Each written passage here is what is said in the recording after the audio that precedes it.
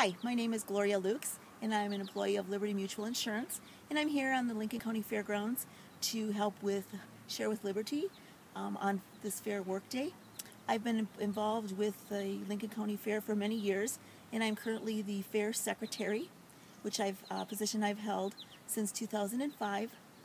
And um, the fair is such an important part of the community here in um, Lincoln County and in the city of Merrill. I'm just really excited to be a part of that and to help continue the tradition as next year will be our 125th fair.